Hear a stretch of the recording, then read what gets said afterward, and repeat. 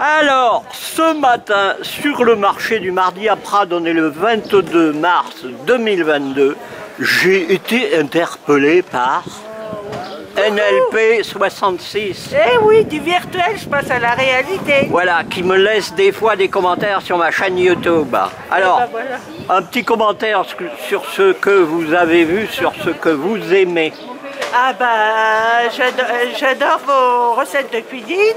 Ah, déjà d'une part, et ce que vous faites en bricolage. Oui, Et voilà. bon, c'est du rapide. Euh, oui, et surtout vous nous faites rire avec la boîte à coucou. Ah, la boîte à coucou, ah et ouais, puis ouais. euh, le sextoys en, Ah, les en- sextoys. en ustensile de cuisine. En, en pilon pour la Yoli. Ça, ouais. ça, c'est extraordinaire. hein. Ah, ça c'est formidable. Voilà. Voilà. Eh ben, NLP 66, je vous remercie beaucoup. voilà. Merci beaucoup. Ça finit. Clic.